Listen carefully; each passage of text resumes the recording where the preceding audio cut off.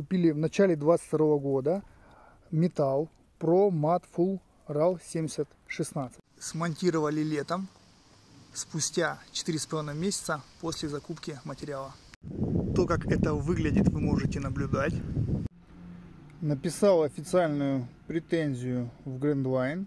Вот так вот они указали, что мы не правы, отнекались от нас. Но в личной беседе они, конечно же, признали свою ошибку. Сдираем пленку, который пролежал уже год. С металла, который пролежал уже год. Вот мыльная водичка появляется. Вот мы можем видеть, что уже практически ничего не осталось.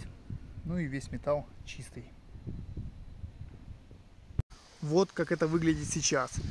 И вот что думает заказчик по этому поводу. Денис, я купил металл, монтировали качественно кровлю. Вот что вышло.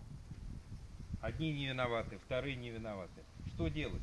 Мы, в свою очередь, поступить так не можем. Заказчика не оставим в беде и вымоем ему эту кровлю.